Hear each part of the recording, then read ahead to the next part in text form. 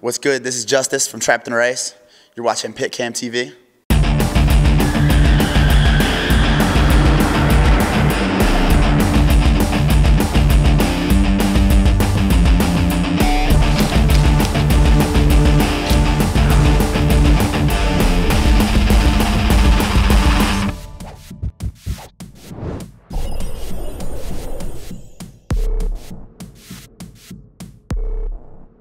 Today's been kind of a, uh, a lazy day. I- intended to go to the gym. I looked up some gyms in the area, but they were all, it seems like everything's kind of like an expensive taxi ride away. So, kind of been sitting around eating junk food all day. Just being uh, a real piece of shit. I um, watched Die Hard earlier.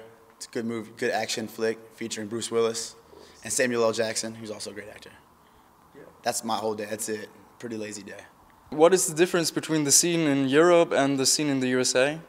uh, so many so many differences. Like uh, one thing is just like the, um, the style of like promoting the show, like you know, um, and like the venues that you guys hold shows in.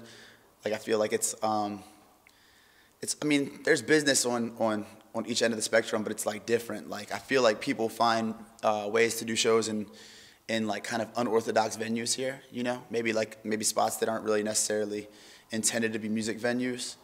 Um, as far as like people. I mean, like people like hardcore and punk rock music. People have there's people are the same. We have a lot of similarities wherever you're from. You know, I can relate to you know a hardcore kid from Europe just as much as I can as a hardcore kid from the U.S. But you know, there's different moshing styles and like different styles of clothing and stuff. I'm wearing my German sweater today.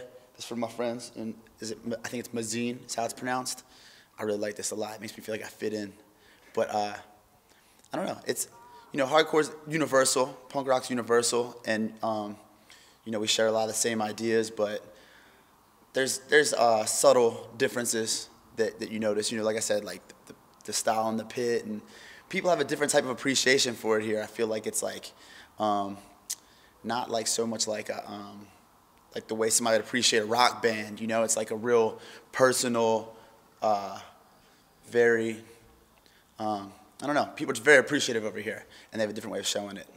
You'll be around for another two weeks on this tour. So, which is the city you are you looking forward to most? Um, actually, Berlin, I've been looking forward to Berlin.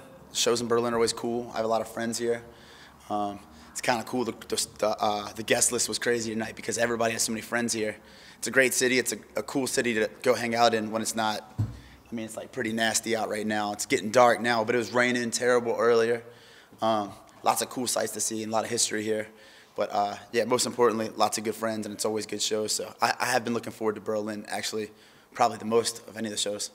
I'm looking forward to England a lot too. It's gonna be really cool doing like shows with a band like Your Demise, who's like a big band and well received, especially in England. If Trapped Under Ice, the whole band was a Simpson character, what character would it be and why? Um, maybe this might be a typical answer, but maybe Bart. You know, because we're all knuckleheads, but in an innocent way. You know, Bart's innocent. You know, he doesn't he doesn't mean to start trouble or he doesn't want to, you know, do you know, he just finds himself starting up shit and being a knucklehead. So I guess we can kind of relate to that. I guess a lot of punk rock characters. Bart's a punk rocker, you know? He's he's like a hardcore kid. He probably, you know, if he was here tonight, he'd probably be in the pit jumping off of shit. So I'll go with Bart. Thank you.